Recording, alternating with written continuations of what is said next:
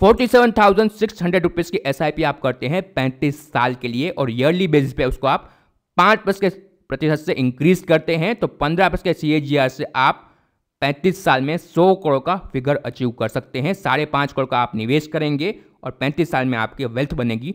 सौ करोड़ रुपए